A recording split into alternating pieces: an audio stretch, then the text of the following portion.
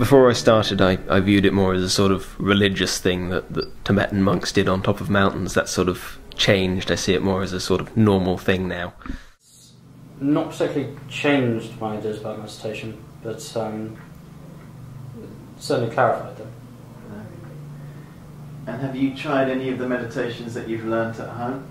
Yes, I have. So I've done the um, the shorter ones before uh, doing homework assignments, and um, ones to help me sleep as well, which was uh, why I tried to look at meditation for myself, somewhat unsuccessfully. Not changed it as such. It's developed it Okay. because I found out more about it.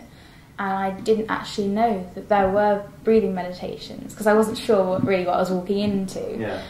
So it's been really interesting to try a new style that's not because I'm not religious or anything like that. It was nice to know that was a completely different thing that you could do. Yeah. That's um, that again you don't have to have particular beliefs in it to do.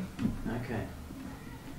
With the meditation sessions long enough, the actual meditation, would you say that the length of them is good? Because they're around 15, 20 minutes? Yes, You say that's it they good- don't they don't feel like 15 20 Okay. minutes, but once you kind of snap back into reality, you do realize how how long it's been, and it's just it's kind of unbelievable how not switched off, but how focused you can be on something for that amount of time without even realizing it. So Okay. yeah, it's good.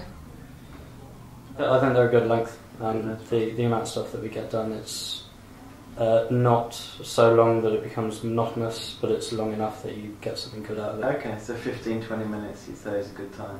For the, uh, 15, 20 minutes for the the the body scan that we did at the Yeah. beginning, and then uh, yeah, whatever else, whatever other techniques